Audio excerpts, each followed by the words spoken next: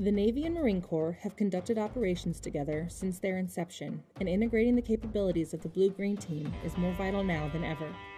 But what does it take to be a dominant naval force?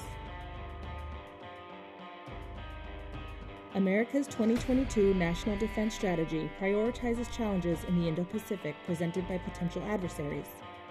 3 Marine Expeditionary Force and U.S. 7th Fleet Command work side by side to deter aggressions from various threats faced throughout the area today.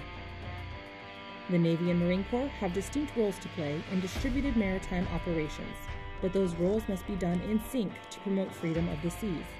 Planning, communication, logistics, and fires must be harmonious to succeed.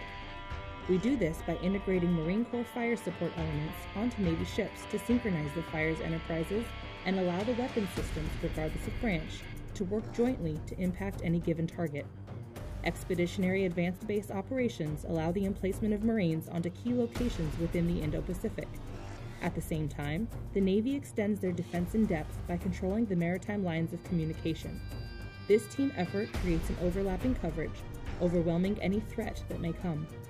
Joint and multinational exercises like Valiant Shield, Balikatan, Keen Sword, and Pacific Fury will continue to keep the Navy and Marine Corps trained together and prepared to keep a safe and open Indo Pacific region.